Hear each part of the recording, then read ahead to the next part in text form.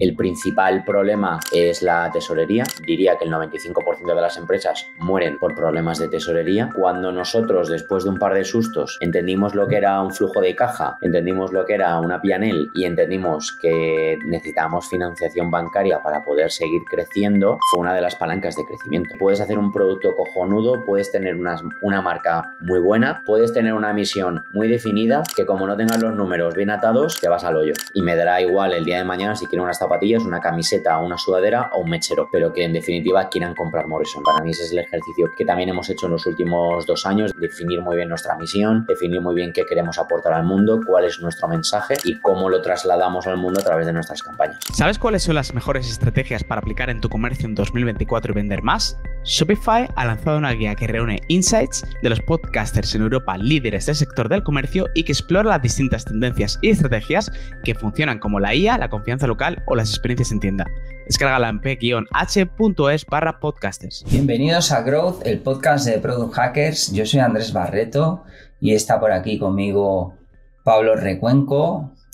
Pablo es CEO y cofundador de la marca Morrison, una marca española de moda y bueno, no os voy a contar más de la marca porque quiero que sea él el que nos lo cuente. ¿Qué tal, Pablo? ¿Cómo estás? ¿Qué tal, Andrés? ¿Cómo estás? Muchas gracias por, la invitación y que muchas ganas de tener una, charlita contigo. Oye, pues muy contento que estés por aquí. Eh, hemos coincidido en varios eventos. Ya te pasaste en 2020 por nuestro podcast, pero creo que fue una mesa redonda y hoy nos, apetecía eh, volver a hablar contigo porque desde aquel entonces hasta ahora pues habéis crecido mucho. Seguro que tienes muchos aprendizajes por ahí que, que, nos, va, que nos va a ayudar a todos a, pues, seguir aprendiendo y a seguir creciendo, tanto a nuestro equipo de Product Hackers como, como a, la, audiencia. Seguro, seguro, más que nada porque yo me veo de, años atrás ahora y los retos son otros, el estado mental también es otro de lo que me parecían problemas en aquel momento a lo que me parecen problemas ahora es otro mundo. Eh, y sobre todo yo creo que dónde ponemos el foco a día de hoy en la marca con respecto a hace unos años, ¿no? que yo creo que es lo más interesante y es donde se percibe el crecimiento de, una empresa, de una marca o incluso de los fundadores, que al final es la clave de todo esto.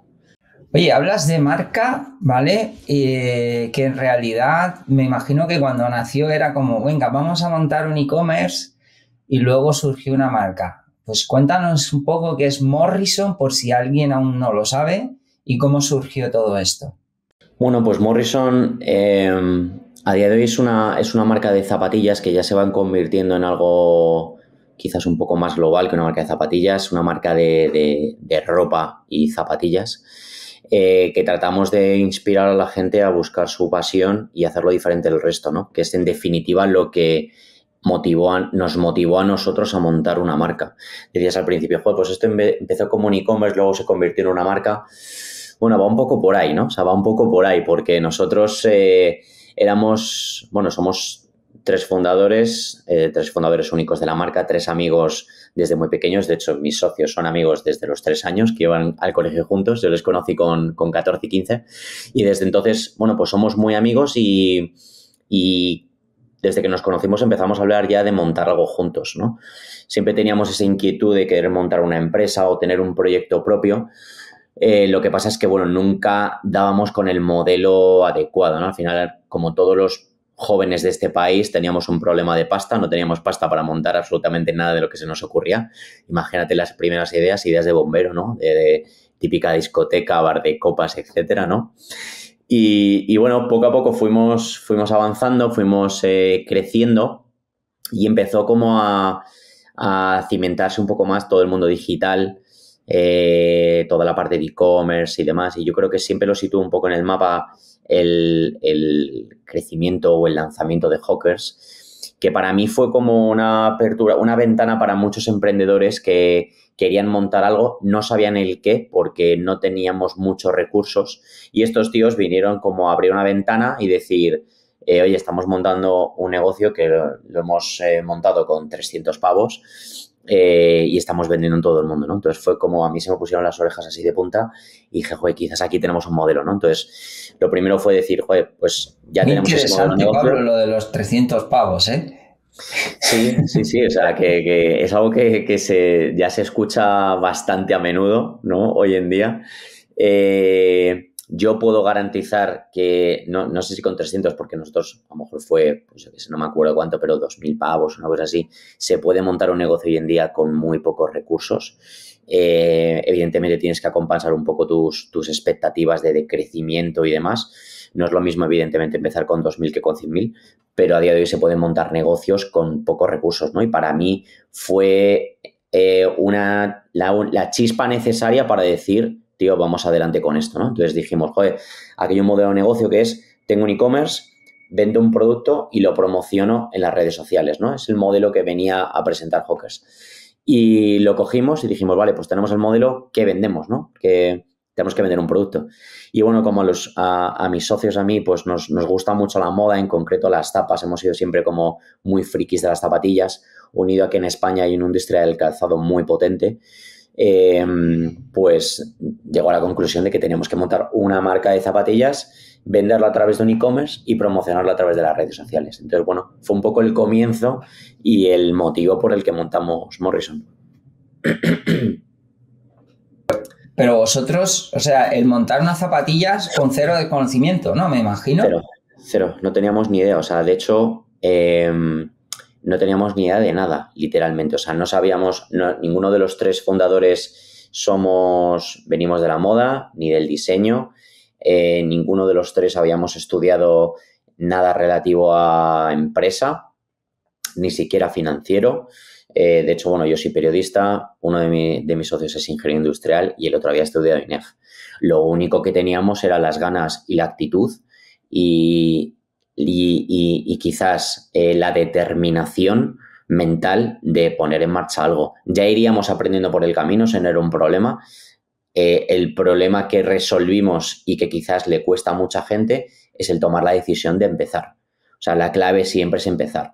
Entonces, para nosotros dijimos, tío, ya tenemos el modelo, vamos a empezar, ya, ya aprenderemos por el camino. Entonces, bueno, te puedes imaginar las primeras reuniones con nuestros fabricantes bueno, con nuestros fabricantes, con, con los fabricantes a los que íbamos a preguntar si nos podían fabricar nuestras zapatillas, la respuesta era, eh, bueno, tenéis troqueles, tenéis hormas, tenéis tal. Entonces, claro, a mí me dijeron, tenéis troqueles, y lo primero que hice fue irme a Google, ver que era un troquel de una zapatilla y, ver de qué me estaba hablando este tío, ¿no? Entonces, bueno, los 10, 12 primeros fabricantes de aquí de, la zona de, de, Elche nos dijeron que no, que, que nos fuésemos a fabricar las zapatillas a, China. Yo creo que nos vieron gente gente inexperta, gente joven. Muy, interesante recomendarte ir a China, ¿no? O sea, un fabricante español decirte, vete a China, ¿no? Sí, a mí es algo que, que, me llamó la atención, que me dolió un poco porque más allá de que me estás diciendo que no a mi proyecto, y bueno, me puede doler, aunque lo puedo superar, me dolió porque si quería apostar por la, por la fabricación española y creo que, es un valor y es algo que nosotros eh, mismos hemos desarrollado, joder, lo estoy intentando, no me mandes a China, porque luego cuando la gente se va a China también te quejas de que, de que no están aquí. Entonces, bueno, fue algo que, que nos dolió un poco, pero yo me lo, me lo tomé más como, como que nos veían como gente inexperta, que quizás se pensaban que esto era el proyecto del cole o algo similar y que no querían arriesgarse a que, a que tres chavales de 24 o 25 años que teníamos en esa época, em, pues que no se comprometiesen realmente con el proyecto, ¿no?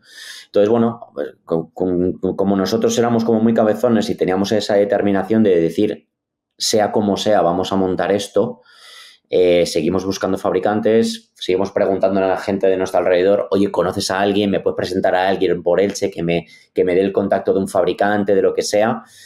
Eh, y bueno, pues gracias a eso, una persona nos, nos presentó a, a, alguien de la industria auxiliar de pegamentos de Elche. Fuimos a hablar con él un fin de semana, porque claro, trabajábamos por cuenta ajena en ese momento los tres socios y aprovechábamos los fines para movernos. Y el tío, pues no sé, debió detectar tanta pasión o tanta determinación o con las ideas tan claras que dijo, bueno, pues voy a presentar un, un fabricante amigo mío que, que, voy con él en bici cada fin de semana y, les voy a decir que a ver si os puede, os puede fabricar. Entonces, bueno, fue un poco la, la manera que tuvimos de, de empezar, de conseguirlo, porque sinceramente no teníamos un plan de negocio eh, no parecíamos tipos con las ideas súper claras. en cuanto a números y demás. Eh, lo que creo que sí que detectaron nosotros es una pasión irrefrenable por aquello que íbamos a hacer. Y creo que fue la clave para poder empezar, empezar esto. Muy interesante. Eh, me gustaría aquí profundizar un poco, por un lado, cómo evolucionó toda esta parte del cero a, pues quizás a llegar a un millón, ¿no? Y luego, eh, cómo ha ido creciendo la compañía hasta hoy, a nivel de, ventas. Y también me interesa saber a nivel de, ventas de, de, zapatillas, ¿no? Que es como, como esa métrica que dice que el negocio realmente está creciendo, ¿no? El número de zapatillas vendidas. Eh, no sé si tienes ese dato o algún dato así relevante que, no sea puedo, Sí, te puedo, vamos, eh, a mí me cuesta, hacer la, me cuesta hacer la conversión de números de pares a facturación porque a día de hoy, como tenemos tantos canales diferentes que tienen atribuciones a la facturación distintas, no es lo mismo un wholesale el margen que tienes de un wholesale o el precio de venta de un wholesale al precio de venta de un, de un, eh, de un online, de, tu e-commerce. Pero creo que el año pasado vendimos como entre 150 y 170 mil pares de, zapas, ¿no? Más o menos, aproximadamente. Eh, entonces, ¿Un ticket medio de...? Ticket medio ahora mismo de 100 euros. Vale, cuando hablamos B2C, vale, vamos a hablar ahora B2C, más adelante entramos a venta wholesale. Claro, así que no, tiene nada que ver eh, B2C cuando tú estás vendiendo a un precio X y tú te llevas, entre comillas, todo el margen, ¿no? Que cuando tienes un wholesale, que luego entramos muy bien, si queréis, a, explicar esto bien, cuando tienes que vender em, a una tienda a un retailer que él tiene que tener su margen para poder venderlo al, precio, al, público final y entre medias está tu director comercial o, tu agente, ¿no? De, zona o de país o lo que sea.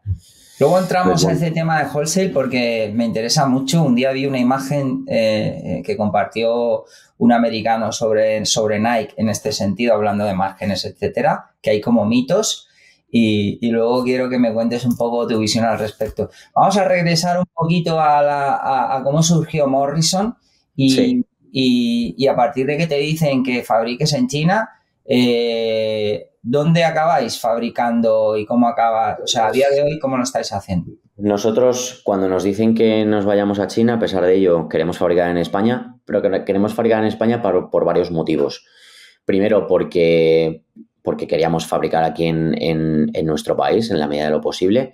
Segundo, por una cuestión de facilidades. O sea, nosotros montamos Morrison compatibilizándolo con nuestros trabajos, que es algo que recomendaría a día de hoy a todo el mundo, eh, porque los, los, hay que tienen la posibilidad de dejar todo y montar su empresa eh, y eso es la leche, pero creo que la gran mayoría de personas no tiene esa posibilidad. Entonces, nosotros montamos Morrison compatibilizándolo, o sea, nosotros por las tardes y los fines de semana trabajábamos en Morrison, si teníamos que ir a la fábrica, cogíamos un día de vacaciones, pero lo que queríamos era reinvertir todo en la empresa y tener muy claro que, podíamos, que teníamos que validar el negocio antes de dar el paso y por una cuestión quizás de nerviosismo, de prisa o de lo que fuese, eh, no cociésemos a fuego lento como queríamos las bases del, negocio, ¿no?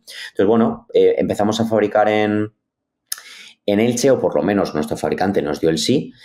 Eh, entonces, bueno, volviendo un poco al, origen de todo esto, que no, no, podíamos, no habíamos podido montar un negocio por falta de pasta, bueno, teníamos el modelo de negocio, pero seguíamos sin tener pasta.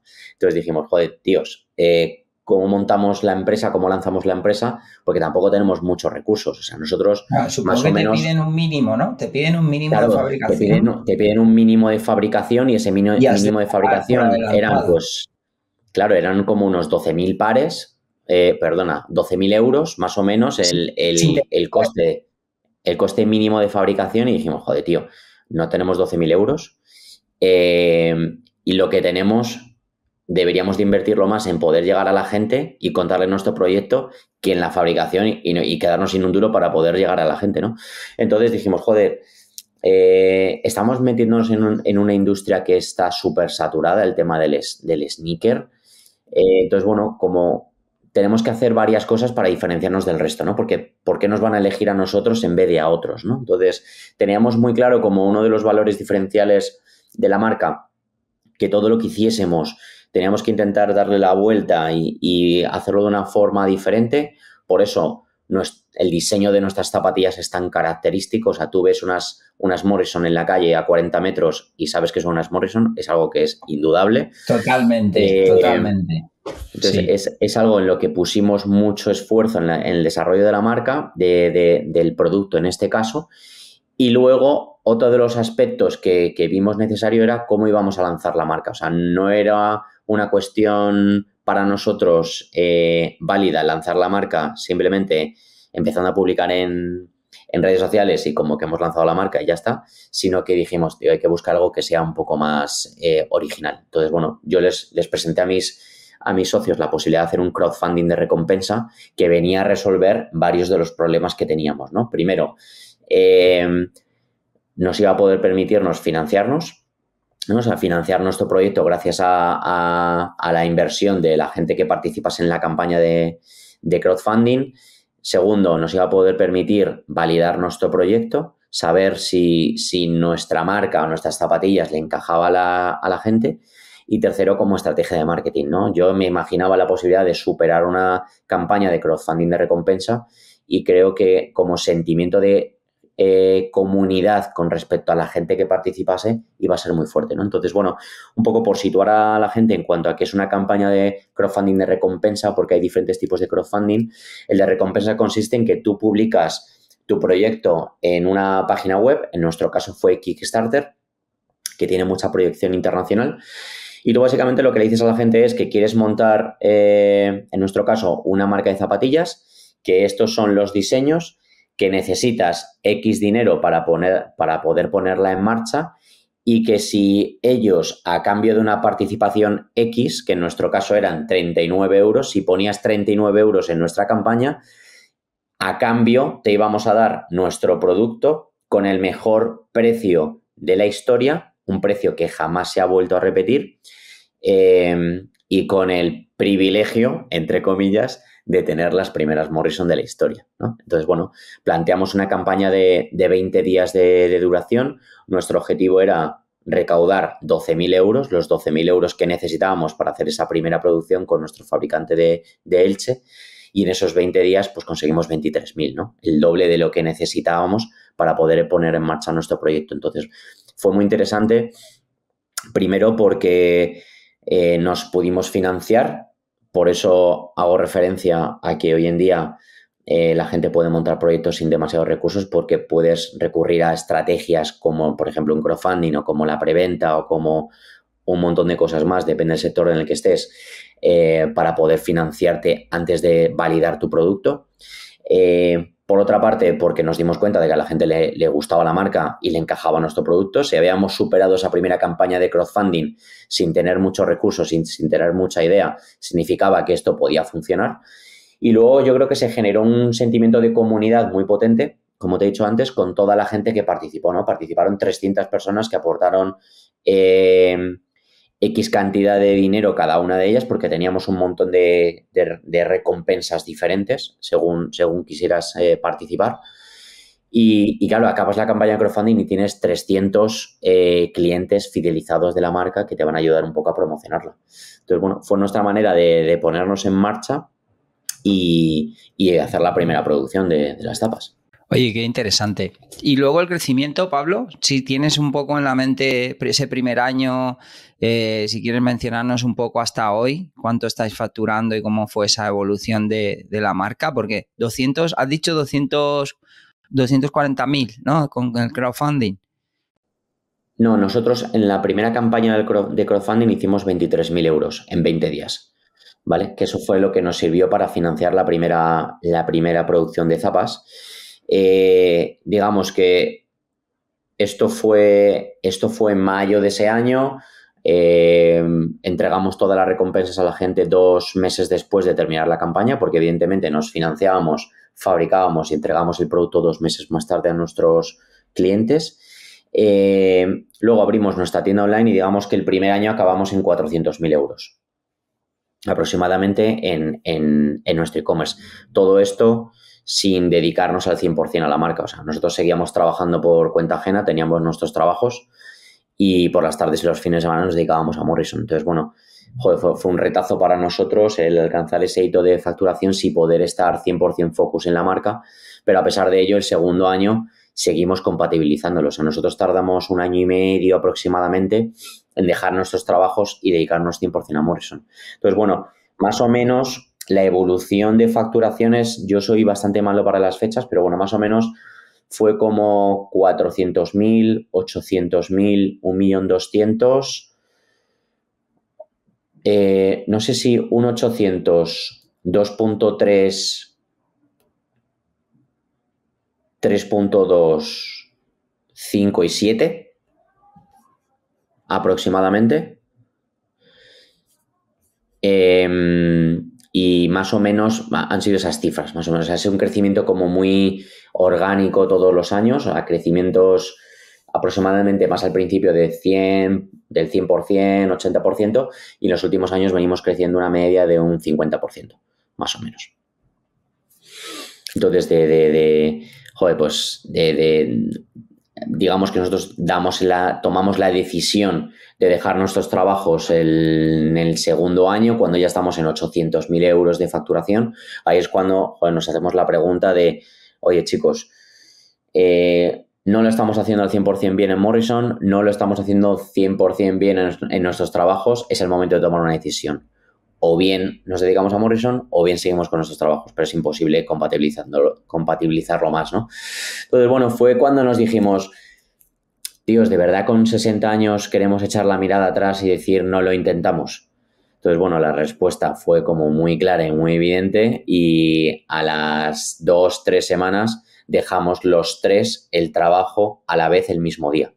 Entonces, a partir de ahí, pues notamos bastante el crecimiento. Eh, ahí estábamos ya eh, viviendo juntos porque Mientras que compatibilizábamos el proyecto, tomamos la decisión de irnos a vivir juntos los tres socios para poder currar desde casa ¿eh? cuando volvíamos de, trabajar. Vuestros padres contentos. se van de casa a la vez, montan una empresa. Sí, cero, riesgo. se autofinancian. Sí. Sí, tal cual, o sea, como muchas cosas a la vez. Y la verdad es que, joder, la, pregunta siempre es la, evidente de, joder, ¿y no habéis discutido nunca, si nunca habéis tenido una discusión así grave y demás? Y, joder, la verdad es que no, o sea, ha habido momentos en los que podemos estar en desacuerdo de, ciertas cosas que tenemos que hacer, pero nunca hemos tenido una discusión grave, pero porque antes de montar la empresa ya éramos amigos.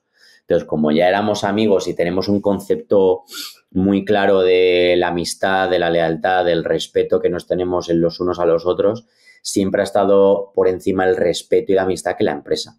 Entonces, siempre hemos sabido ver dónde están los límites de una conversación acalorada, ¿no? Entonces puedes estar en desacuerdo, pero nunca ha ido más allá de eso, ¿no? Entonces, a pesar de que estuvimos viviendo juntos dos años, a pesar de que no teníamos recursos al principio, de que reinvertíamos todo en la empresa, de que no montamos la empresa con los márgenes adecuados, que ese es el primer consejo que daría a cualquier emprendedor que esté empezando, pon los márgenes adecuados para tu empresa.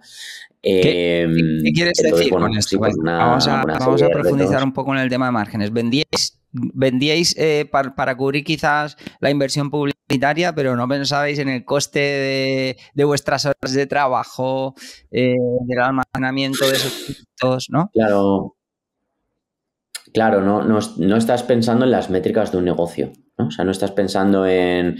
Nosotros, cuando montamos una empresa, no sabíamos lo que era una pianel no sabíamos lo que era un cash flow.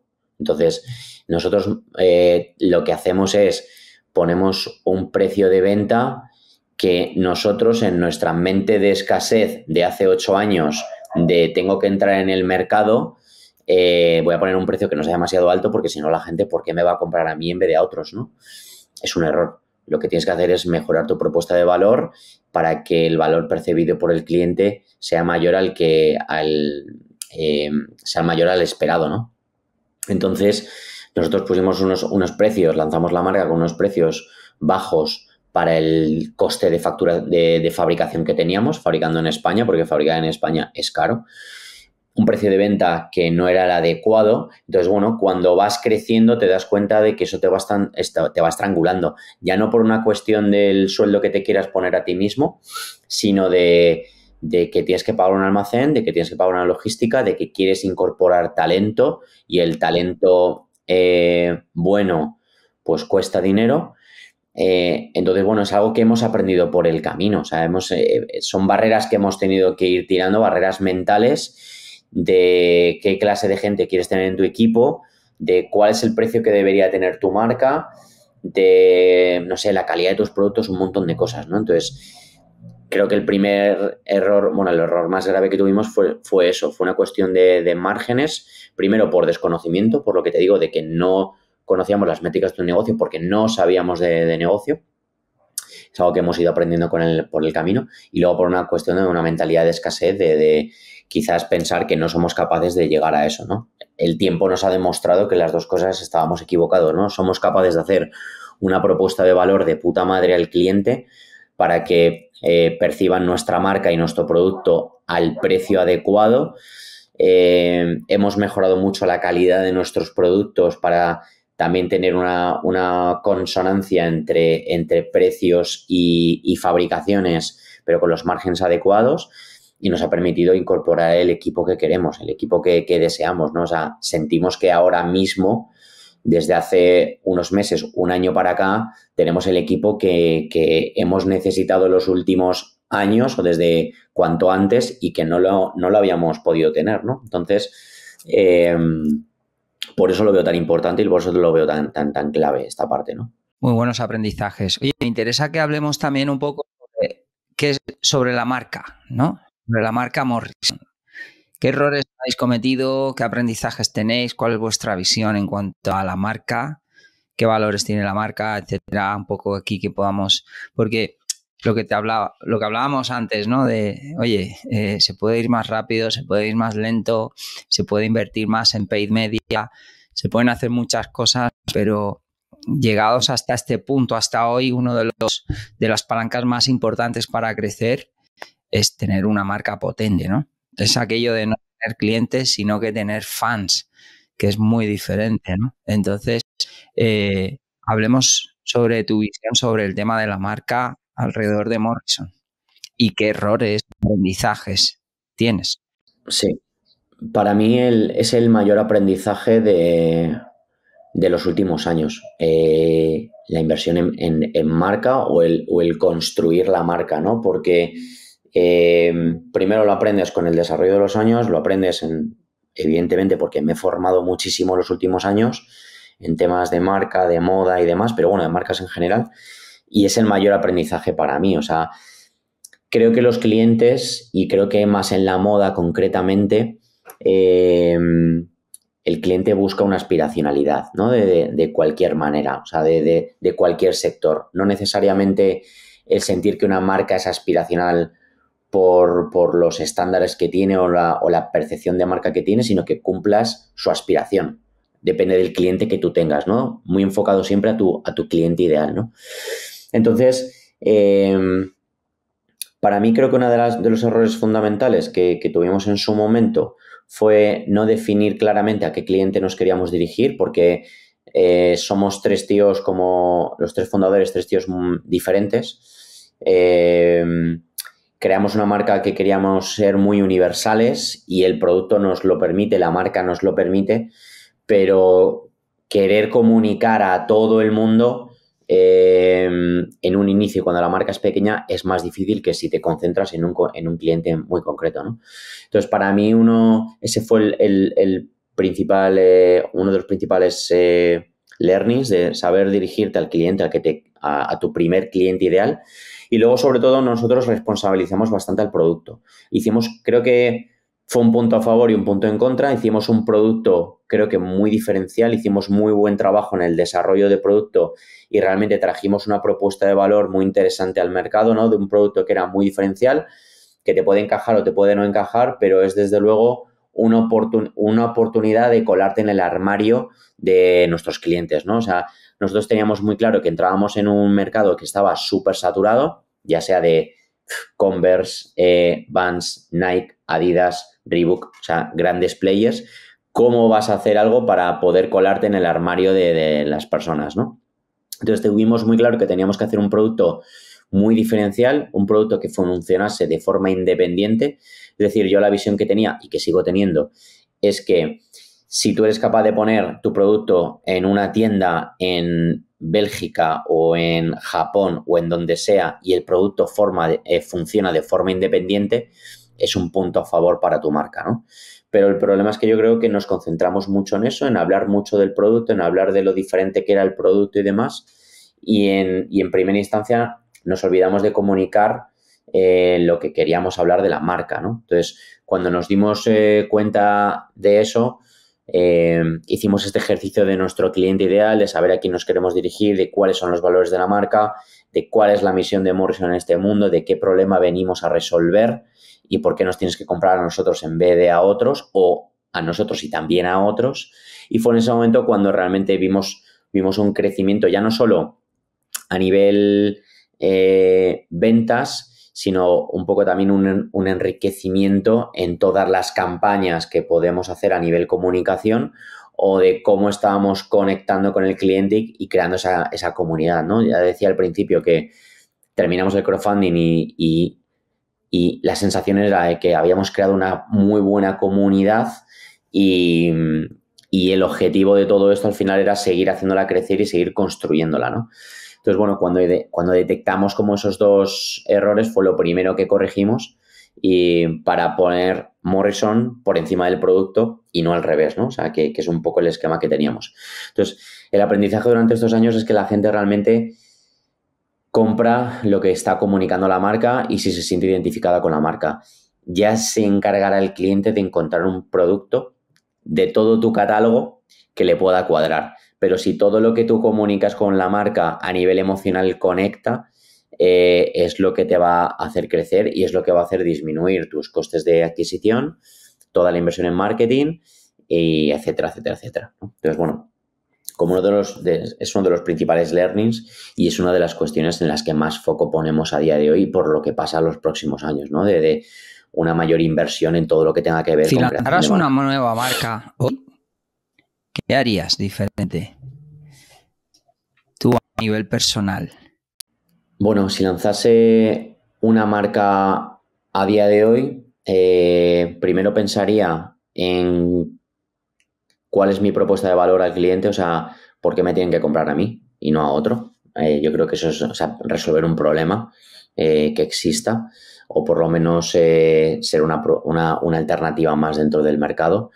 Eh, luego me concentraría muy, muy bien en determinar cuál es la misión de la marca, o sea, qué, va a aportar a nivel, a nivel mensaje, ¿no? Que en el caso del mensaje de Morrison es que es algo que hemos ido eh, desarrollando con el tiempo, es inspirar a la gente a dedicarse a su pasión y hacerlo diferente al resto, ¿no? Que es la misma misión que teníamos nosotros como emprendedores, la misma misión que tienen nuestros embajadores de marca dentro de Morrison Culture, que en definitiva son gente que se dedica a su pasión y que lo hace diferente al resto, músicos, eh, tatuadores, artistas, etcétera, etcétera, etcétera. Entonces, determinar muy bien cuál es esa, esa misión de marca, porque a través de ahí es como se va a articular tu mensaje, el mensaje que tú vas a trasladar a tus, a tus clientes.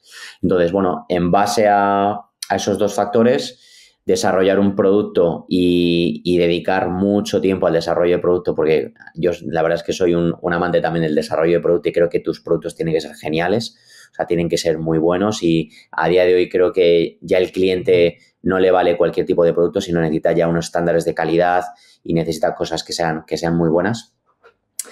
Y luego, por supuesto, eh, tendría muy claro todo el tema de, de los números, ¿no? O sea, en primer lugar, establecer muy bien tus márgenes que te permitan crecer lo más rápido posible dentro de, dentro de una solidez, de un crecimiento sólido y, y, orgánico, pero que te permitan crecer lo máximo posible, que te permitan el día de mañana contratar las personas adecuadas para tu equipo, que puedas cubrir todos tus, todos tus costes y que estés de acuerdo a y que no sea un punto en contra en cuanto a tu competencia. O sea, que tu competencia no te esté superando por los márgenes que tienes. Y luego, sobre todo, un conocimiento muy, profundo.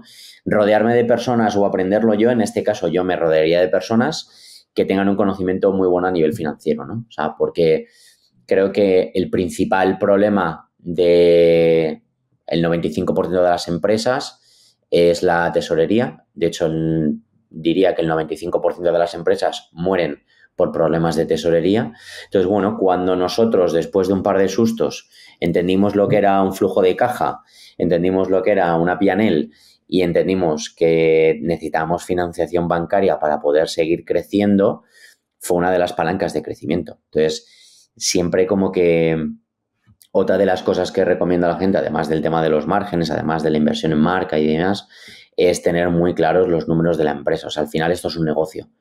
Eh, yo puedo ser muy visionario, me puede encantar el marketing, me puede encantar eh, todas las cuestiones relacionadas con la marca, pero, tío, tienes un negocio y tienes que tener muy claro cómo, cuáles son tus números, eh, cuáles son tus flujos de caja, porque puedes hacer un producto cojonudo, puedes tener una, marca muy buena, puedes tener una misión muy definida, que como no tengas los números bien atados, te vas al hoyo. Entonces, eh, digamos que es un poco los, las claves o lo que yo tendría muy en cuenta a la, hora de lanzar una, una, marca. Y luego, por supuesto, a la hora de lanzarla, asumo que me, pondría el reto de no tener muchos recursos a la hora de lanzarla, aunque los tuviese, pero intentaría que no tuviese muchos recursos. Primero, para agudizar el ingenio, que es algo que creo que siempre hemos tenido por, qué difícil, pura necesidad. Qué difícil se vive, qué difícil se vive sin recursos y qué necesario es y cuán necesario es eh, no tener muchos recursos cuando, cuando estás lanzando algo, pero es como, sí, lidiar lo que no tienes y cuando lo tienes eh, te vuelves tonto, ¿no? Sí. sí, o sea, es mucho más, evidentemente es mucho más difícil no tener recursos que, que tenerlos. También yo creo que le das más valor al dinero y le das más valor a a los recursos que tienes para poder invertirlos de la forma más óptima. Nosotros a medida que hemos ido creciendo, estoy seguro de que somos menos óptimos en, lo que hacemos que, que hace cinco años. Eh, pero bueno, también te puedes permitir el hecho de innovar más o de cometer más errores, que también está bien, porque nosotros sí que teníamos la sensación al principio de que no podíamos cometer errores. Entonces, bueno, eh, sí que creo que igualmente está bien que, que antes de lanzar tu marca al mercado, eh, testes si, si, tiene cabida, si tu propuesta de valor es la adecuada, si tienes que pivotar, etcétera, etcétera, etcétera. Entonces, más allá de crear toda tu colección de ropa em, o todo tu catálogo y demás, yo antes haría como una especie de, de, MVP para, valor, para validar si mi marca encaja en mi cliente, si mi producto encaja y en base a eso lanzaría mi, mi marca, pero no antes de, no antes de haber hecho una prueba en, los canales digitales, que yo creo que es un poco uno de los principales puntos a favor de, del online o de los, bueno, o de los últimos 10 años, ya no solo a nivel e-commerce, sino a nivel cualquier negocio digital. La posibilidad de lanzar proyectos, eh, no necesariamente de cero, pueden ser iniciativas sin siquiera tener los recursos y financiarte a través de tus futuros clientes sin haber lanzado el producto al mercado. A mí eso me vuela la cabeza, lo hemos hecho en dos ocasiones y me parece la leche. Y el día de mañana, si vuelvo a montar otro negocio de otro sector, lo haría de la misma manera. ¿Te verías creando contenido y creando una marca personal potente? Que estuvimos hablando antes acerca de ¿no? figuras como Steve Jobs, etcétera. Personas que tienen una marca personal muy potente que arrastran la marca la marca de la empresa o, el rol de, ser el CEO en segundo plano y, dejar que la marca luche un poco por su cuenta, que eso es como un poco más difícil. Esto también tiene luego un impacto eh, en, la, captación, ¿no? En, en el PNL, ¿no? No es lo mismo estar generando contenido de forma orgánica eh, que estar captando constantemente a través de campañas publicitarias. ¿Cómo, cómo, cómo gestionáis esta parte, la parte de creación de contenidos y demás?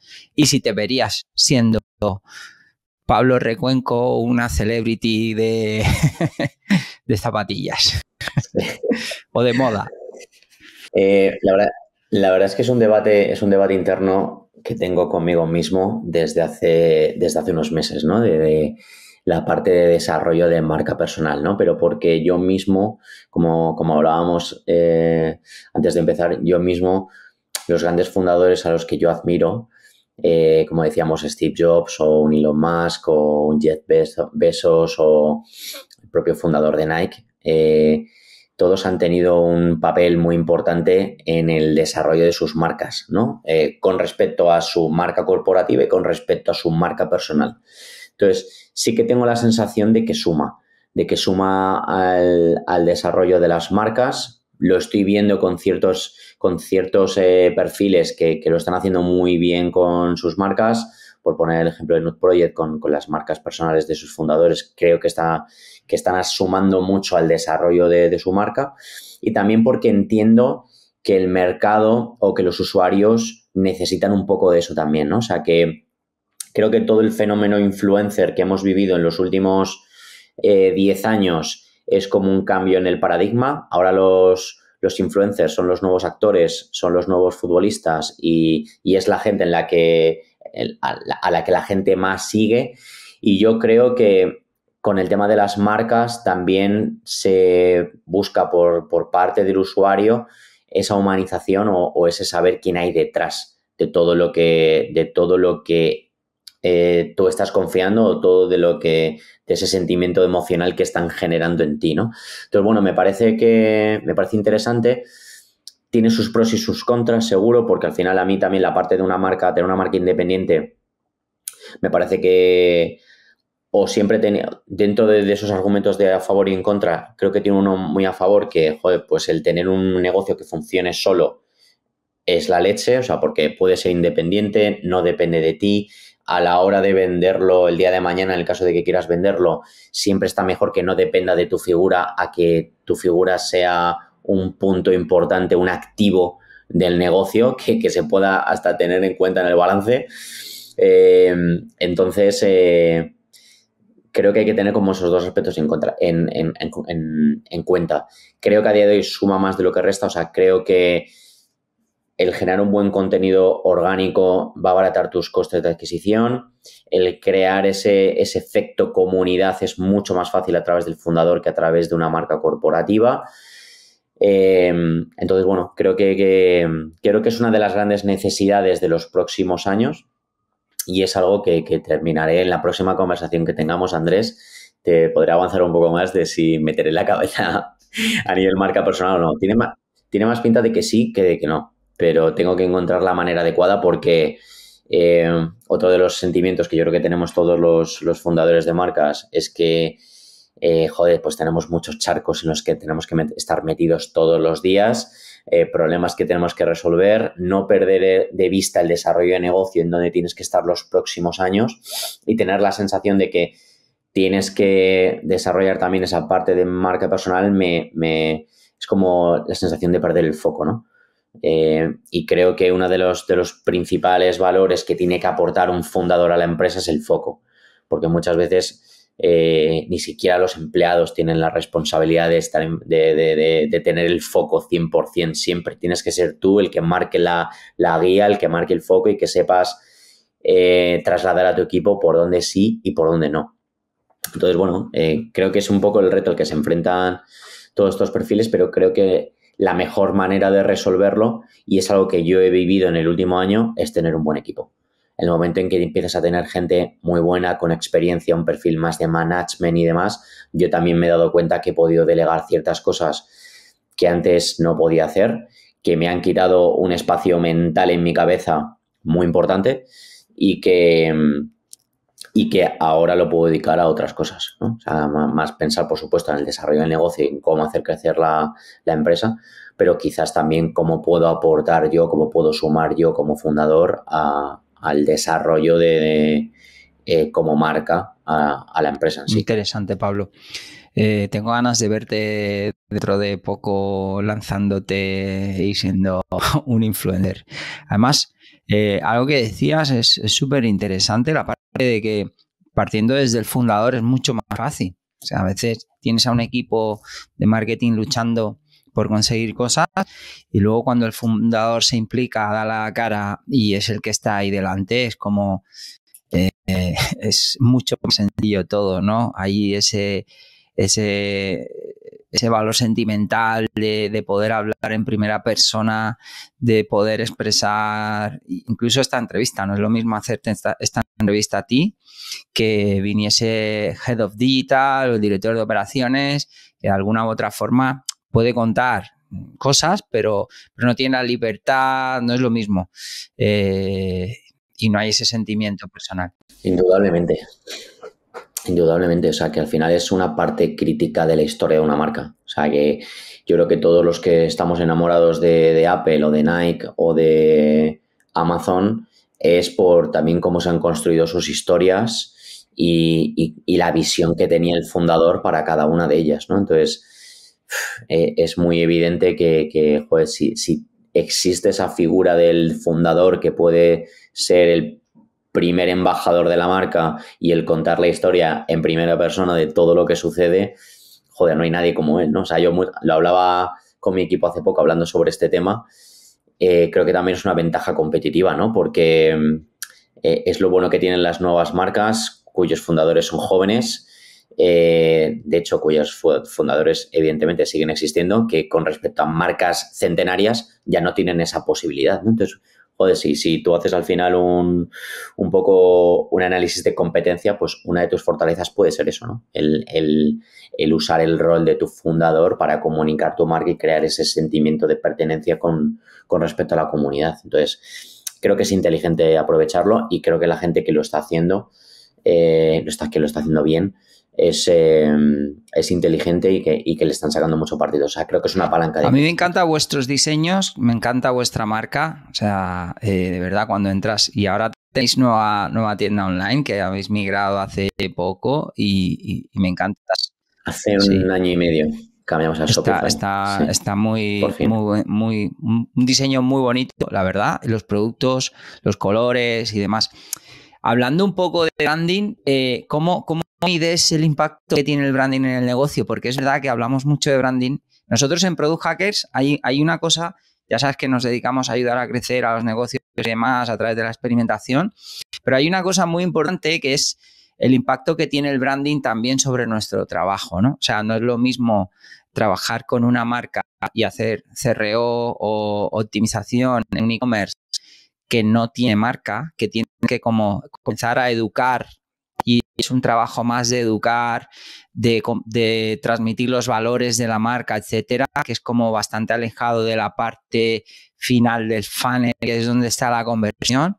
Es un más ahí, un awareness y tal, que cuando es una marca que está trabajada, que es potente, que ha sabido comunicar sus valores, etcétera, y ya te centras más a optimizar la parte de abajo del funnel, que quizás es donde más hay fugas y demás, ¿no? Entonces, ¿cómo podemos medir eh, ese impacto? Eh, ¿Cómo lo medís el impacto del branding en, Morrison? Eh, a mí se me ocurren algunas cosas, como por ejemplo el hecho de, oye, una empresa que vive a hacer promociones constantemente, ¿no? Una empresa que vive a hacer muchas promociones constantes, quizás tiene problemas de marca. No tiene una marca muy potente, unos valores alineados eh, que no están alineados a precio, sino a calidad de producto, a valores, etcétera. Y luego la parte del user generated content, ¿no? ¿Cuánta gente habla de ti sin tú tener que estar hablando de ti mismo constantemente? No, son como dos cosas. Eh, bueno, te dejo que me cuentes. Me, parece, me parecen dos buenas métricas, la verdad. Me parecen dos buenas, dos buenas métricas. La primera que has comentado sobre todo el tema promocional, que es algo que nosotros siempre hemos tenido muy en cuenta desde el lanzamiento de la marca. Eh, hemos sido una marca de no hacer descuentos. Eh, de hecho, los primeros años no hacíamos ni Black Friday, para que te hagas una idea. Luego ya con el crecimiento de la marca y de saber aprovechar un poco, yo creo que también es responsable aprovechar ese calendario promocional de que te sirve intencionalidad de compra por parte de los usuarios, creo que es inteligente utilizarlo, por eso empezamos a hacer eh, Black Friday, porque tampoco choca con, respecto a los valores de nuestra marca, toda la parte de Black Friday. Eh, y luego entramos en los periodos, eh, digamos, comúnmente conocidos como las rebajas de enero y de, y de verano, por una cuestión también de, saber limpiar el stock, ¿no? O creo que una de las, de las claves de todas las empresas de moda es saber limpiar el stock y es muy difícil no equivocarte. Siempre, ¿no? O sea, de, decir, saco una colección, se va a vender toda, eh, genial, todos contentos y todo, todo sonrisas, pero no siempre es así. O sea, cuando tú ya eres una marca con cierto recorrido que sacas entre dos y cuatro colecciones todos los años, que puedas acertar siempre es complicado, ¿no? Y al final hay una acumulación de stock y demás, entonces creo que es sensato aprovechar esos, esos periodos para, poder limpiarlos, eh, para poder limpiar ese stock, pero no maleducar al cliente en las rebajas, ¿no? Porque yo tengo la sensación de que hay muchísimas marcas que viven en el mid-season, en el sprint season, en el Monday, en el Monday sales y en el hoy es mi cumpleaños y hago un 50%. Entonces ahí el problema es que se genera una mala educación hacia el usuario y hacia el cliente. Entonces, como la gran mayoría de marcas, eh, de hecho, yo creo que estamos ahora mismo en un periodo que no es, no es de rebajas propio como tal, y hay un montón de, gente que está de muchas marcas que están de descuentos y de rebajas, al final se educa el cliente, se maleduca el cliente y es muy difícil que te vuelvan a comprar full price. Entonces, por eso nosotros siempre hemos sido muy responsables. Por un lado, y como punto a favor de nuestra falta de márgenes, como no teníamos márgenes, tampoco podíamos hacer rebajas, con lo cual, genial, porque hemos podido crear marca por ese punto, o sea, de una de forma completamente inconsciente estábamos creando marca, ¿no? Por, por, por no, pero, no poder. Pero es una forma inconsciente, en realidad son los valores, es que no hay otra.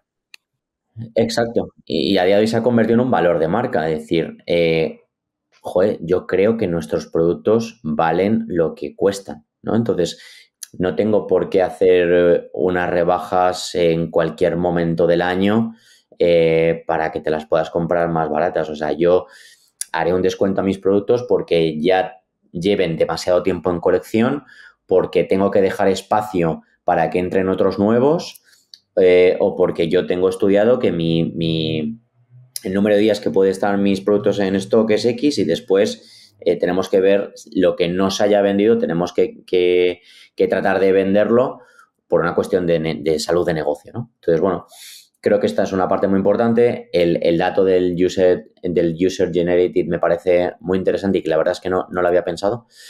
A, mí la verdad es que medir el branding siempre, siempre me ha costado. Sé que, sé que el branding es muy importante, sé que invertir en, en, marca es muy importante. Me he dado cuenta de que en general las métricas de negocio eh, mejoran después de que hayas hecho una campaña más enfocada a marca, porque nosotros no solo lanzamos lanzamientos de productos, sino que muchas veces hacemos eh, campañas de marca o apariciones en podcast o en medios de comunicación o en un montón de cosas que están más relativas a la, a la marca que al producto y te das cuenta de que las métricas mejoran, pero nunca he sabido darle una métrica concreta de decir, oye, si yo tengo, me invento 10.000 euros, ¿por cuánto me va a dar invertirlo en marca y cuánto me va a dar invertirlo en cerreo, por ejemplo. ¿no? O sea, nunca he tenido como muy clara esa métrica de, de qué da más retorno. Eh, yo por pura experiencia y por, y por un simple análisis de, experiencia de usuario de mí mismo con respecto a las marcas que a mí me gustan, a las marcas que yo admiro, eh, sé que la inversión en branding tiene que ser constante pero nunca he sabido atribuirle más allá de lo que comentábamos antes también de búsquedas orgánicas de la propia, de la propia marca en, los diferentes buscadores y demás. Em, toda la parte de, por supuesto, tráfico directo, etcétera, etcétera, etcétera, cómo es ese crecimiento a través de los años pero el saber dónde pongo una cantidad X de dinero, si en una campaña de branding o en otro tipo de cosas, a mí es algo que siempre me ha, resultado complicado. Pero bueno, me, me, ha sucedido también con, otras cuestiones, ¿no? Por ejemplo, un SEO, a mí es algo que también me ha parecido siempre difícil identificar cuándo aparece el retorno, ¿no? Para según qué tipo de negocio. Entonces, bueno, es uno de los, de los principales retos. Creo que para mentes más financieras es incluso más reto aún. Por ejemplo, uno de mis socios, que es el que lleva toda la parte financiera, es un tío ingeniero y demás, y es un tío que le vale los números. No vengamos con capítulos emocionales y de demás. Yo quiero ver números. Es muy difícil eh, hacérselo ver eh, más allá del, sentido común de, de efectivamente, tío, cómo a través de los meses te vas gastando menos en marketing, cómo ves que se está creando conversación a través de, de los usuarios sobre tu marca, cómo puedes tener presencia en entrevistas como esta, cómo tienes presencia en medios de comunicación, cómo hay influencers que llevan tu ropa sin tú siquiera habérsela ofrecido. Creo que esas son un poco las únicas métricas que puedo, puedo tener para argumentar a, a, un financiero esta inversión en marca, ¿no? Pero, pero en definitiva, como te decía, en moda lo veo fundamental porque el usuario busca una aspiración sea la que sea, pero busca una inspiración. Y eso solo se, se consigue a través de... Sí, yo te comentaba antes la parte de contenido generado por los clientes. Me parece que es una de las métricas muy interesantes relacionadas con el branding porque es una experiencia de no solamente cuando hablamos, cuando hablaba sobre, sobre la parte de cómo convencer al financiero de hacer branding o no, está claramente que, oye, es esa parte que vamos a un poco a posicionarnos en canales que no estamos buscando una conversión directa, sino que nos conozcan. Es como alimentar el top de la parte de arriba del funnel, eh, ir trayendo nuevos usuarios, que conozcan nuestra marca y demás. Pero luego sí que es verdad que la experiencia con la marca y donde la marca realmente eh, se posiciona o, se afirma es cuando ya te he comprado un producto y qué experiencia vivo yo con ese producto. Si cuando me pongo la zapatilla es cómoda, si cuando eh, si la recomiendo a otras personas. Eh, el nivel de satisfacción también, el NPS, ¿no? El nivel de satisfacción de cada cliente, que yo creo que es una, una métrica muy interesante de medir, que es el NPS, o sea, que cada cliente nos cuente su nivel de satisfacción con nosotros y luego, desde luego, el lifetime value de cada cliente, ¿no? O sea, cuánto, cuántas compras nos hace cada persona al resto del año sin tener que volver a, comprar publicidad para, para conseguirlo, ¿no? Son como métricas ahí muy... Exacto. Y bueno, es, es, todo un funnel, tío. Antes hablabas también de que habíais migrado a Shopify y quería un poco también entrar a esa parte que creo que va muy relacionada con, con la apertura de tiendas físicas propias vuestras. ¿Tenéis tres ya propias? O, o quizás pensando un poco en mejorar esa parte omnicanal. fue más pensando en, en Joder, experiencia de usuario, sinceramente, porque veníamos de. Nosotros lanzamos, cuando lanzamos la marca, em, lanzamos con PrestaShop porque en aquel momento, 2016, existía PrestaShop, existía em, Magento y WooCommerce. Y yo fui a hablar con la persona que nos iba a hacer la web, yo con cero conocimiento, y le dije, quiero hacer una tienda online. Y me dijeron, ¿qué quieres? Tengo PrestaShop, tengo Magento y tengo WooCommerce. Y dije, pues la que tú me digas, porque no tengo ni idea. Entonces empezamos con PrestaShop y, y, bueno, pues a través de, los años, para mí fue una tortura, sinceramente. O sea, yo no, no, no, no he estado contento nunca con, con PrestaShop. Me parece que la tecnología tiene que ser un facilitador, o sea, tiene que ser eh, una palanca de crecimiento y, esta plataforma nunca lo fue para nosotros. O sea, creo que teníamos que depender siempre de un programador para cualquier problema que teníamos. El tema de las integraciones fue mortal. O sea, me acuerdo de concretamente una, una integración que tuvimos con un procesador de pagos que estuve tres meses para poder integrarlo, algo que a día de hoy con Shopify es como le doy un botón, lo instalo y le meto un codiguito. Eh, entonces, fue, fue tanto el, punto de dolor que tenía con la tecnología y con, y con la, principal plataforma de venta que teníamos, porque eh, básicamente el 90% de nuestras ventas en aquel momento era de, de por e-commerce y la sensación es que cada vez que lanzábamos un Black Friday se caía la web, si teníamos un lanzamiento fuerte se caía la web, etcétera, etcétera, etcétera. Yo decía, tío, no es posible, eh, no existe alguna plataforma que tenga un servidor que sea elástico y, se, y, que si entra un pico de, tráfico no se me venga abajo la, la tienda online.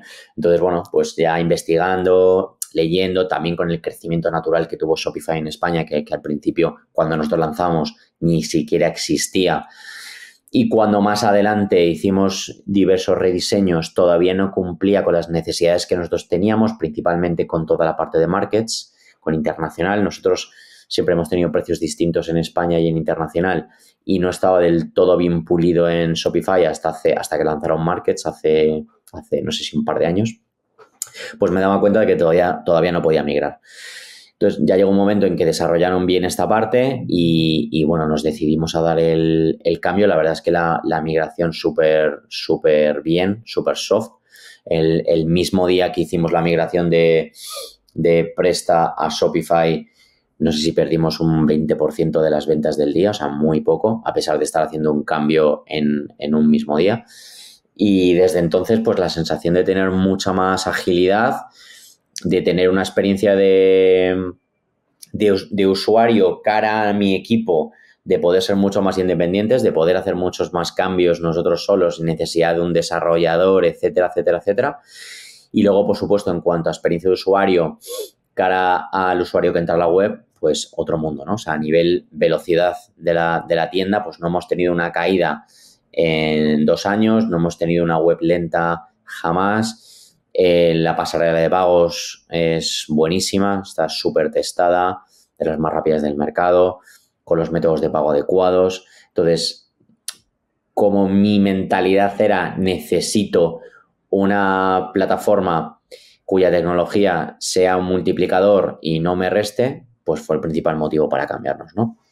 Luego hemos podido integrar POS eh, para nuestros puntos de venta y demás. Justo. Pero que funciona, funciona bien, funciona correctamente. Eh, me parece que, tiene por mejorar, pero bueno, cumple con las necesidades que nosotros tenemos a nivel tiendas físicas pero bueno, el principal punto de dolor que teníamos nosotros era, el digital y el, no tener una plataforma adecuada al crecimiento que venía teniendo la marca. Oye, muy, muy buena experiencia, la verdad. Eh, estas cosas a veces te las cuentan los comerciales y no te las crees y que te la cuente el fundador de una marca, pues aporta muchísimo valor. es una realidad. Sí, sí, o sea, has hecho un pitch comercial que, El, fundador de Shopify debe, hacerte un cheque o algo. Espero que me llame mañana Shopify, tío.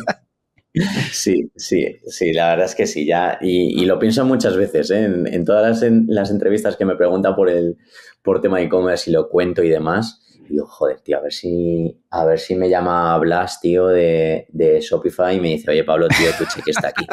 Pero, pero no, no, en, en realidad es que no, o sea, el, tema es que es que he notado la diferencia. O sea, que es que venía de una plataforma que no funcionaba bien, me he cambiado a otra que funciona mucho mejor. Ojo, también es mucho más cara, eh, pero funciona mucho mejor. Pero si yo analizo, eh, por mucho que esté pagando más pasta mes a mes en Shopify, todos los problemas que me... Exacto, las conversiones que me da, eh, bueno, cómo ha crecido mi tasa de conversión, eh, la velocidad que tiene, eh, los problemas que me ha ahorrado y sobre todo la pasta que estoy ganando ahora en lanzamientos en Black Friday, etcétera, etcétera, etcétera, que antes no ganaba por el hecho de que se me dais a la web, te compensa con creces. Entonces, bueno, es, es una, al final es una cuestión de, de que me ha pasado y que si puedo ayudar a que a alguien no le pase, pues que pues sinceramente mejor. No, hay mejor reseña que la natural, tío, la que la vivencia propia es lo mejor. Y estamos aquí en este podcast para aprender de tu, de tu experiencia. Así que a nivel tecnológico es muy importante porque la tecnología debe ser es un facilitador. Incluso, o sea, no, no ponerte pegas, no ponerte ineficiencia, sino sumarte. Eh, en cuanto a retail, tío, eh, la marca comenzó en online. ¿En qué momento pasas a tener tiendas físicas? ¿Por qué? ¿Y cómo, cómo fue esto? Porque esto es otro mundo ya. Eh, es otro mundo, es otro mundo del que tampoco sabíamos demasiado, pero bueno, es otro mundo diferente y fíjate, nosotros cuando lanzamos la marca éramos como muy, muy pro online, o sea, nosotros nos decíamos a nosotros mismos que siempre íbamos a ser eh, online, que siempre íbamos a tener nuestro e-commerce, que todo el mundo tenía que pasar por nuestra web para vivir la experiencia, para tener los datos y demás. Lo que pasa es que, bueno, llegó un momento en que, mm, en que nos empezaron a llamar tiendas físicas que querían vender nuestras tapas eh, con ese modelo wholesale muy al principio. Y bueno, dentro de que nosotros no estábamos muy interesados, pues bueno, veíamos que cada vez más tiendas nos escribían, que les vendíamos las tapas con unas condiciones que sinceramente no eran buenos para ellas, para ellos, pero bueno, no había margen, con lo cual es lo que había.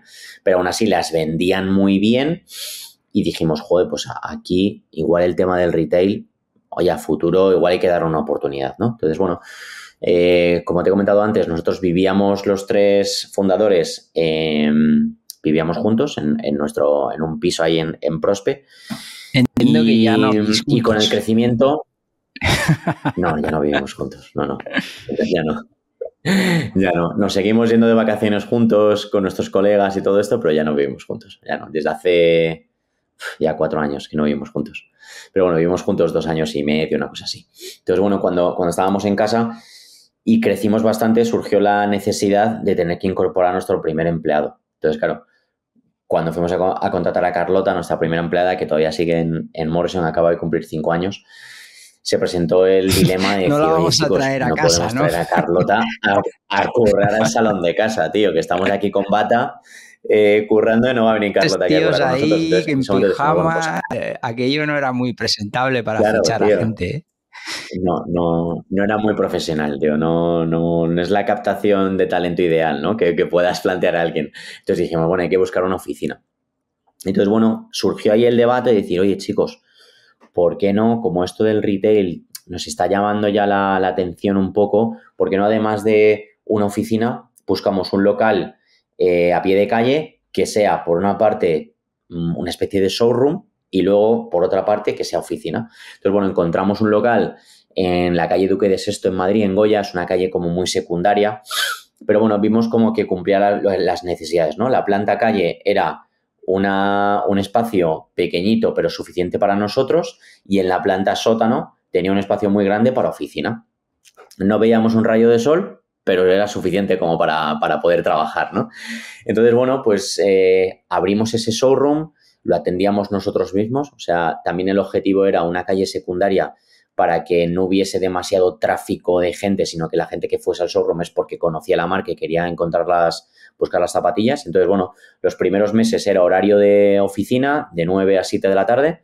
Cuando venía un cliente, subíamos nosotros mismos a atenderle y le vendíamos las tapas. Teníamos ahí un pequeño stock en, en la oficina. Y vimos que aquello funcionaba, o sea, que la gente realmente quería ir a ver el producto, quería probárselo y que iba bien. Entonces dijimos, oye, ¿por qué no ampliamos el horario?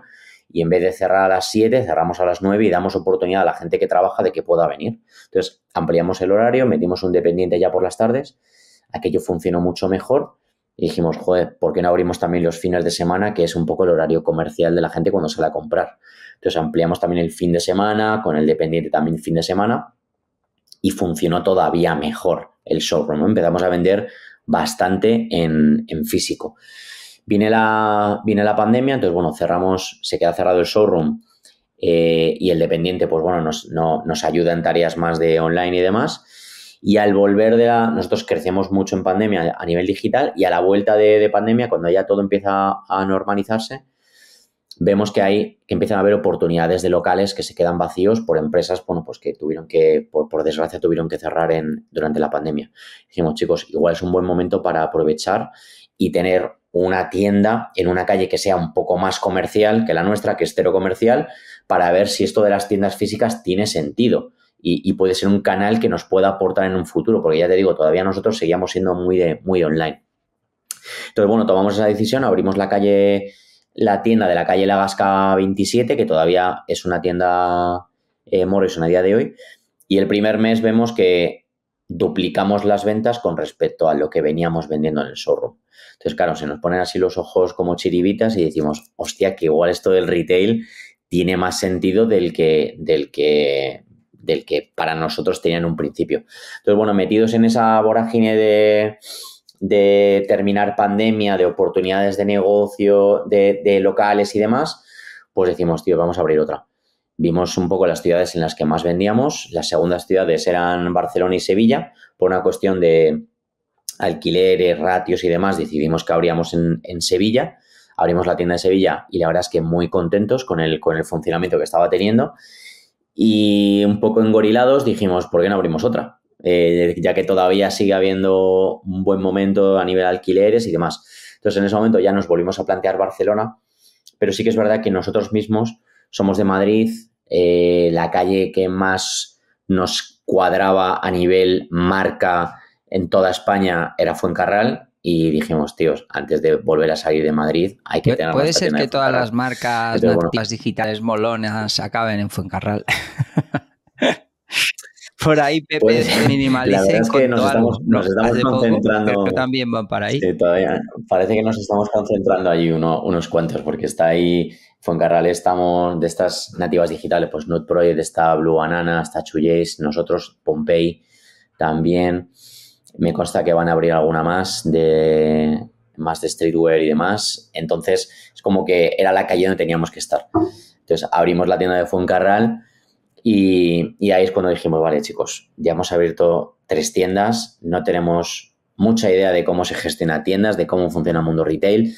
Vamos a concentrarnos en también traer equipo que nos ayude a gestionarlas, a aprender bien un poco las métricas del negocio, a hacer unas tiendas rentables, y a tener unos buenos equipos y demás. Y hemos estado con estas tres tiendas pues un año, llevamos un año aproximadamente, eh, un año y medio. Y, y, joder, la verdad es que contentos con las tres tiendas, con el funcionamiento de las tres tiendas. Y es por eso por lo que ya nos empezamos a plantear ahora sí, y después de haber hecho todo el crecimiento de, de wholesale, que ha caído un poco de la mano, ahora sí que entramos en toda la parte de wholesale, eh, nos planteamos ahora un crecimiento retail un poco más serio para los próximos años, ¿no? Porque realmente lo que hemos visto es que al cliente le sigue gustando ir a las tiendas físicas, que tener una tienda física, si tienes muy claros los números y las ubicaciones en las que tienes que estar, puede ser rentable y que puede ser una aportación a atribución de marketing, porque el hecho de tener una tienda en Fuencarral o tener una tienda en la calle Sierpes de Sevilla, indudablemente, es, además de ser una tienda que vende, es una pancarta publicitaria. O sea, tú vas por la calle Fuencarral y, tiene, y, te encuentras una tienda de Morrison, con lo cual impactas a mucha gente. Entonces, bueno, como sabemos cuál es la evolución también del canal digital y, y cómo han evolucionado los costes de adquisición en los últimos años y demás, y creo que es sano eh, tener una omnicanalidad en la marca, ya no solo con el canal online y con, las tiendas físicas propias, sino también pues con el canal wholesale que, como te decía, también lo, empezamos a profesionalizar y hacerlo crecer pues hace un año y medio. Oye, porque eh, notas diferencia, ¿no? O sea, en esos códigos postales, en esas ciudades donde abres tienda física, he sabido que, que incrementas las ventas online también en esas mismas zonas, ¿no? Reduces un poco también la dependencia al paid. Es, increíble porque, sí, porque es, algo que, el sentido común te dice que si abres una tienda en Sevilla, muchas de las ventas se la va a llevar la tienda en vez de tu canal e-commerce, pero la realidad es que eh, yo ya lo había escuchado de antes, o sea, de, de grandes marcas o de marcas españolas que habían hecho un crecimiento fuerte a nivel retail ya había escuchado que normalmente cuando abres una tienda en una ciudad, esa ciudad se refuerza y vende más a nivel general, tanto por supuesto en retail como también en, el canal online. Y es algo que nosotros también hemos visto. O sea, antes Sevilla y Barcelona estaban como empatadas en ventas, ahora Sevilla es la ciudad, la segunda ciudad donde más vendemos, claramente, después de Madrid, que tenemos dos tiendas. Entonces, eh, no solo no quita ventas, sino que además lo refuerza y que, como dices, pues a nivel de, inversión de, paid media o diferentes canales en marketing, pues se nota que, esa atribución que tiene la propia tienda al marketing eh, ayuda a que tu inversión en marketing pueda ser menor. Total. Y en cuanto a mi canalidad, Pablo, eh, al tener tienda física, la experiencia que sea unificada, la personalización, todo esto, como, ¿En qué os fijáis? ¿Qué métricas aquí son importantes? ¿Qué, experiencia le queréis dar al cliente en este sentido? O, si estáis en ello, porque no es fácil. Claro, nosotros estamos, nosotros estamos justamente ahora mismo en ello, porque nosotros abrimos un poco las tiendas por intuición, o sea, abrimos las, las tiendas físicas de, por bueno, nivel de ventas que teníamos en Sevilla, porque queríamos abrir una tienda en Fuencarral, porque pensábamos que era la calle donde tenía que estar Morrison por tipo de público y demás, pero no nos, no nos paramos a pensar mucho más allá en cuanto a la experiencia omnicanal que tiene que tener el cliente con la marca, que perciba ese, esa experiencia Morrison en todos los canales y esa personalización y incluso ese tono de marca eh, a través de todos los canales y es justo el ejercicio que estamos haciendo ahora previo a esa posible expansión retail que queremos hacer, ¿no? Definir muy bien ese concepto de tienda eh, que tiene que ser 100% Morrison, que ya sea porque abras una tienda física, que ya sea porque abras un corner del corte inglés o porque quieras hacer un pop-up o porque quieres abrir eh, un corner en un centro comercial, que la experiencia sea la misma, ¿no? O sea, que la propia, que el, propio espacio respire la marca. Entonces, estamos ahora mismo como en ese ejercicio para poder aplicarlo a las tiendas que ya tenemos, que por suerte han funcionado bien eh, sin tener en cuenta estos criterios aplicando estos criterios y sobre todo teniendo en cuenta un escalado en tiendas, es como que yo mi obsesión es como tener muy claro en un Excel los números que tiene que tener cada una de las tiendas, de cuánto te puede costar abrirla, eh, cuántos dependientes tienes que tener, qué retorno tiene que tener de la inversión, cuánto tiempo tardas en amortizarlo. Sé que no es una ciencia exacta, el concepto del layout de la tienda. Sé que no es, una ciencia exacta, pero cuanto más definido lo tengas, más claro lo tengas, más fácil es escalar. Entonces, es algo en lo que nosotros no hemos puesto el foco. De hecho, nuestra tienda de la Vasca nos costó la reforma 5.000 euros porque hicimos un, lavado de cara de la tienda que había anterior. La de Sevilla, no sé si fueron 30 y la de Fuencarral fueron 60, una cosa así, solo las reformas, ¿vale? Entonces, eso te hace ver que, no tienes un modelo definido de cómo tienen que ser esos modelos de tiendas, ¿no? Y es lo que estamos construyendo ahora, de saber que las tiendas te van a costar X, todas las tiendas que quieras abrir, tu corner del corte inglés, si decides hacerlo, te va a costar X y que tengas una, una trazabilidad y un número muy claro, ¿no? Entonces, para mí ese es el punto clave antes de empezar a hacer este crecimiento retail y sobre todo definir luego en cuanto a ubicaciones, y zonas, tipos de zonas en las que tienes que estar, si es tipo A, tipo B, tipo C, etcétera, que más concuerde con tu cliente y que más de acuerdo esté con esos números que tú tienes para que en definitiva tengas tiendas rentables, porque creo que tampoco sirve de nada hacer una expansión retail por el hecho de tener tiendas en ciertas calles. Lo que es interesante aquí y lo que es un mantra para nosotros desde el día uno es que seamos rentables y que todas nuestras unidades de negocio sean rentables. Entonces, por eso es tan importante este, este ejercicio. La parte de wholesale, que ya la has mencionado antes, la habíamos dejado un poco para profundizar ahora. Eh, bueno, suma. Claro, esto es otro mundo también, es como el retail, es otro mundo. Ya es mucho más difícil también de.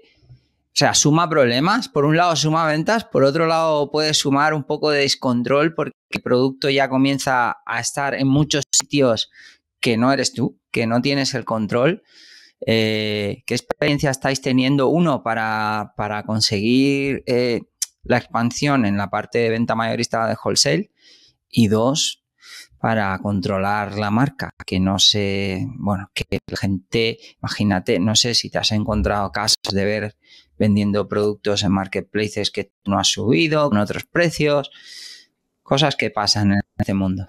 Sí, Sí, o sea, es un reto muy grande entrar en, wholesale, primero por, por, el tipo de empresa que éramos antes de entrar al wholesale. O sea, nosotros éramos una, una startup pura y dura de tres colegas que se han montado una marca, que ya teníamos un poco de equipo, pero que nosotros en el mes de junio se nos encendía la bombilla y decíamos, oye chavales, que es que en septiembre tenemos que lanzar una colección. Igual deberíamos de empezar a diseñarla y a producirla. Eso en el mundo wholesale no existe. En el mundo del wholesale tú vendes las colecciones un año antes de que se hagan a la venta. O sea, nosotros ya tenemos diseñado eh, todo lo que va a salir en febrero del año que viene, de 2025. Eh, que nuestros agentes salen a venderlo a los, a los retailers en el mes de julio. ¿no? O sea, siete meses antes de ponerlo a la venta. Entonces, eso fue un cambio primero a nivel mental, a nivel estructura, de decir, Dios, hay que empezar a adelantar los tiempos y empezar a diseñar con mucho más tiempo de antelación, colecciones además mucho más profundas de lo que veníamos haciendo, un catálogo mucho más amplio para poder tener un surtido mejor para las diferentes tipologías de tiendas que vamos a tener. Entonces, ese fue el primer esfuerzo que hicimos como empresa, adaptarnos a esos tiempos del wholesale. Y luego, por supuesto, adaptarnos a nivel financiero, ¿no? Porque cambian mucho los flujos de caja de una empresa cuando tienes un e-commerce y tú vendes a un cliente, te paga por adelantado, le envías el producto y tú a tu fabricante le pagas a 60 días, que cuando tú recibes el producto de tu fabricante, se lo envías al retailer, el retailer te paga a 60 días, por ejemplo, y tú entre tanto tienes que pagar a tu, a tu fabricante. Entonces cambia mucho el tipo de financiación que tienes que tener para tu negocio, las herramientas con las que te tienes que financiar en nuestro caso siempre con, los bancos, no hemos necesitado inversores ni nada de este tipo, sino siempre con, el acompañamiento de los bancos, gracias también al crecimiento que ha tenido la marca y que han confiado en nosotros. Pero bueno, cambias esa tipología, ¿no? Pues de, de como tú dices, de circulantes, empiezas a utilizar productos más de eh, adelantar facturas, etcétera, etcétera, etcétera, ¿no? Entonces creo que fue también un máster a nivel financiero para, para, nosotros como fundadores el saber cómo teníamos que, que recalibrar esa, financiación de la empresa. Eh, y luego, pues bueno, tiene unos puntos positivos que sobre todo es ese volumen que, te, que consigues con wholesale si tu producto funciona y tu marca funciona a nivel wholesale. En nuestro caso sí que hemos tenido suerte de que ha funcionado muy bien y prácticamente en, en un año hemos pasado de estar en 20 tiendas a estar en 400 solo en España, más en Francia, más en Austria, más en, más en Bélgica, pero solo en España en 400 tiendas. Entonces es un crecimiento que es muy, muy acelerado. Por lo tanto, te trae un volumen de pares muy grande, lo que, joder, pues eh, primero te permite negociar mejor con tus fabricantes y luego, sobre todo, que tú ya vas a tus fabricantes con un pedido cerrado, ¿no? O sea, como te decía, en julio nuestros agentes empiezan a vender lo que se va a poner eh, a la venta al público en febrero, con lo cual a finales de agosto yo ya tengo un pedido de todas las tiendas que me han comprado y con ese pedido cerrado me voy a mi fabricante y te digo, oye, te, tengo que pedir eh, 100.000 pares, que son estos de aquí. Entonces, a la hora de poder negociar, de poder también tener ese, esa, sobre todo también con, los bancos, esa fiabilidad de ingresos que vas a tener ya en un, en un momento determinado, pues es un punto positivo. Em, como puntos negativos, por supuesto, no estar siempre eh, en los puntos de venta que tú quieres y que hemos tenido que hacer mucha limpia de, a lo mejor no estar en los sitios donde queríamos estar.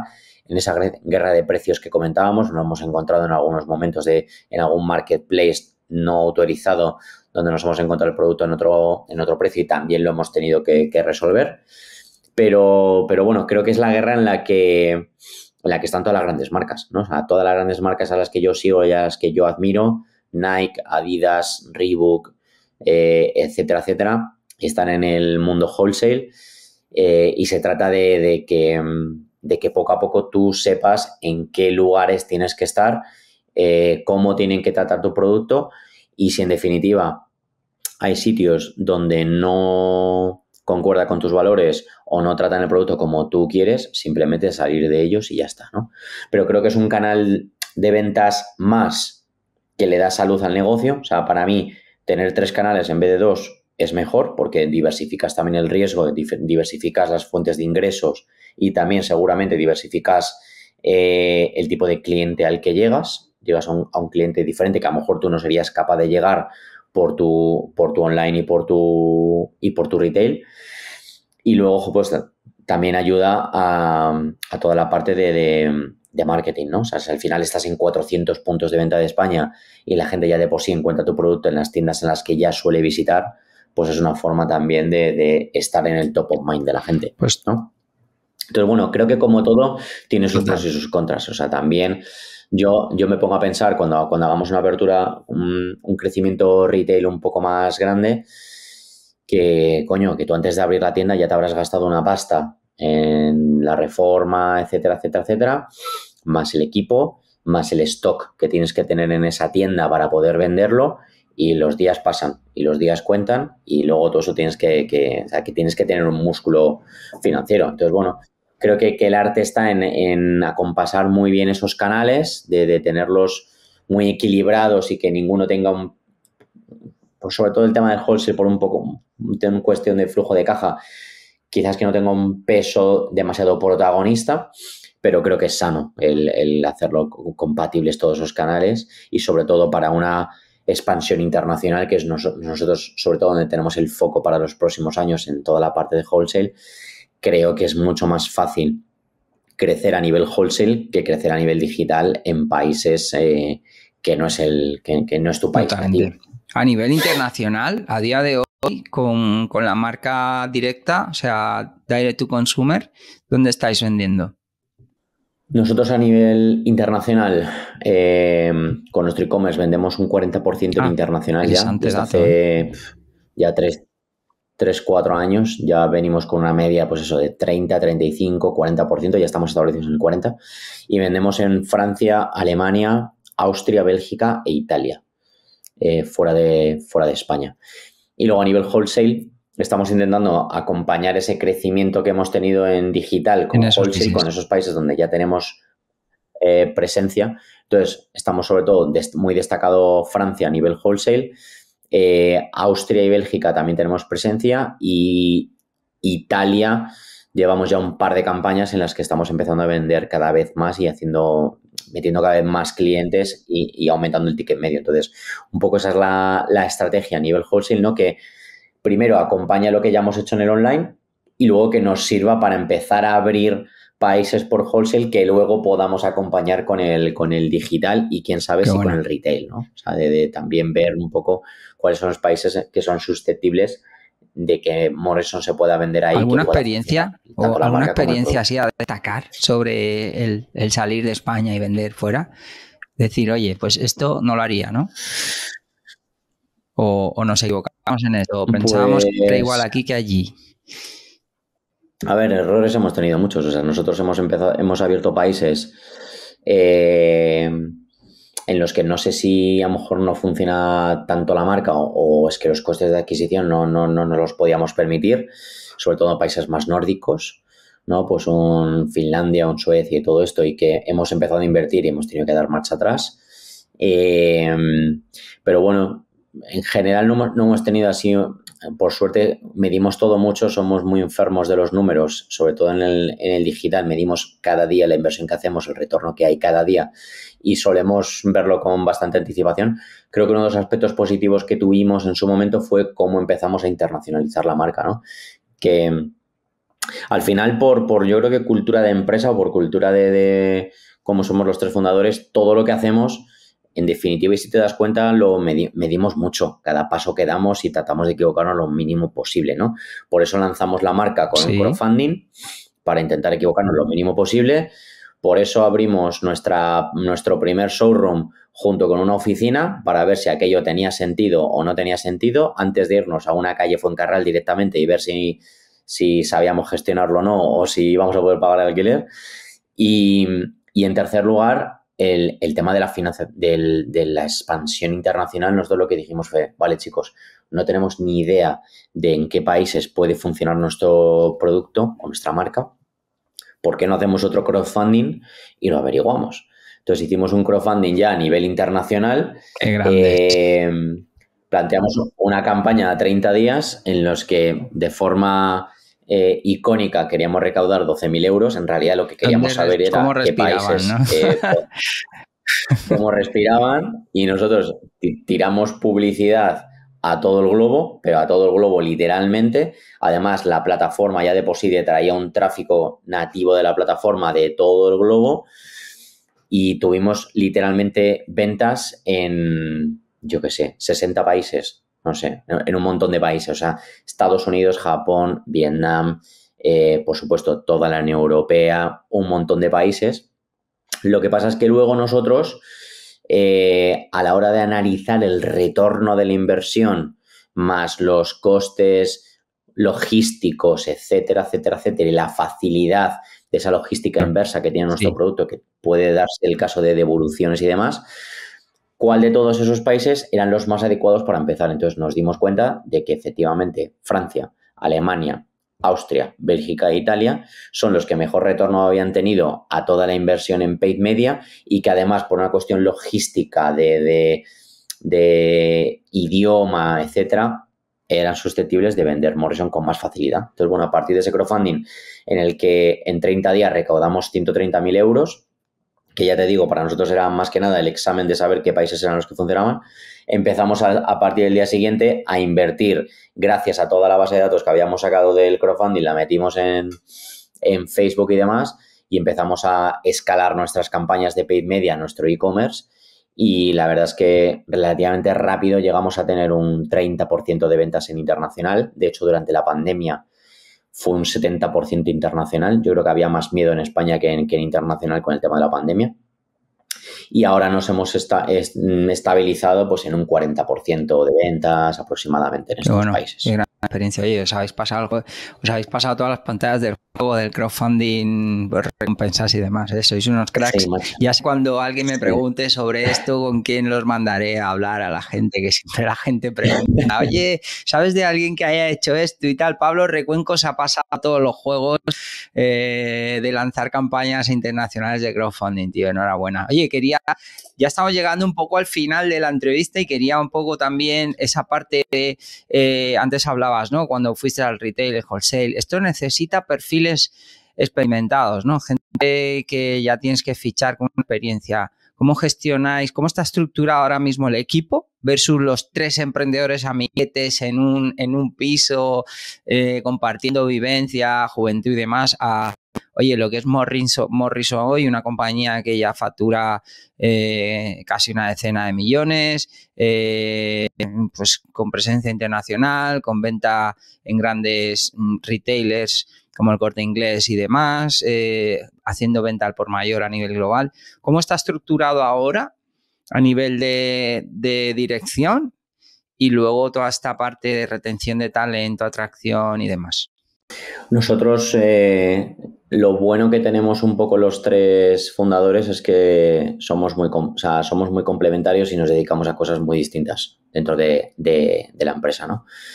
Un poco por también el perfil que tenemos cada uno de nosotros y lo que hemos también estudiado o lo que son nuestras inquietudes personales. Entonces, bueno, yo llevo toda la parte, o sea, al final todas las decisiones las tomamos entre los tres, eh, todas las decisiones importantes pero bueno, cada uno de nosotros lleva una pata diferente. Yo llevo toda la parte de marketing, comunicación, digital, etcétera, etcétera. Luego, eh, mi socio Álvaro Patón, que lleva toda la parte de financiero, producción y todo esto. Y luego Álvaro Rodríguez, en este caso, que lleva toda la parte de producto, de desarrollo de producto y demás, ¿no? Entonces, bueno, debajo de cada uno de nosotros tenemos como diferentes eh, tenemos nuestros equipos con cada uno de los managers, ¿no? Más en la parte de, producto, pues en marketing tenemos toda la parte de digital separada más de la parte de marca, eh, que es por, un poco hablar más de contenidos y, la otra parte que es más de digital, que tiene que ver más con e-commerce, con paid media, etcétera, etcétera, etcétera, etcétera. Eh, y luego tenemos toda la parte de operaciones que, está un poco más diferenciado, pues la parte más back, ¿no? De atención al cliente, o sea, toda la parte, lo orientamos como B2C y B2B para toda la parte de wholesale y, canales propios, parte financiera y luego tenemos el perfil de más enfocada a retail, que sí que cuelga de los tres. Intentamos estar los tres eh, siempre eh, con la persona de retail, igual que estamos los tres con la, con la persona de, recursos humanos, ¿no? Digamos que son los dos únicos perfiles que, están, que cuelgan directamente de, los tres, ¿no?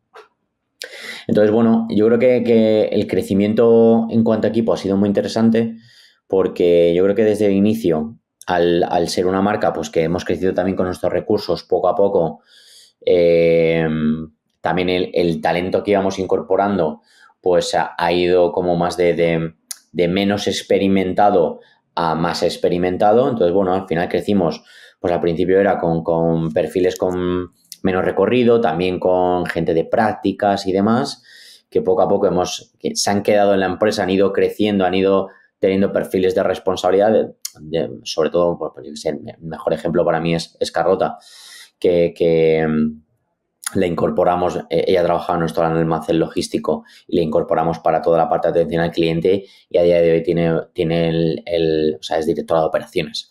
O sea, que es un perfil que ha, visto todo por la empresa, ha tocado todos los palos, ha estado en tienda, ha estado en, la parte de logística, en atención al cliente, entonces ha tenido la suerte, entre comillas, de poder ver todas las patas de la empresa, ¿no? Y ahora tiene una visión muy global.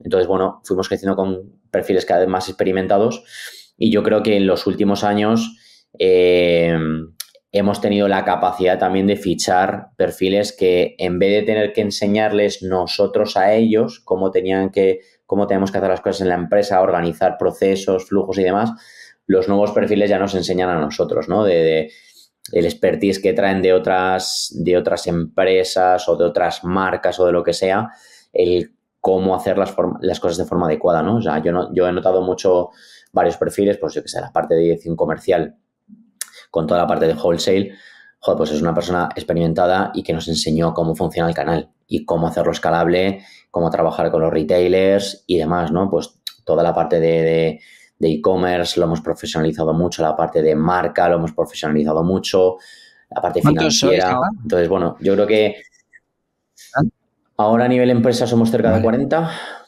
eh, y en oficina pues seremos unos 25 aproximadamente. Aproximadamente. Qué bueno. Entonces, bueno, o sea, muy, muy interesante, la verdad. ¿Y dónde ves a Morrison? Es un, reto. ¿Dónde ves a Morrison en los próximos años? ¿O cuál es el objetivo?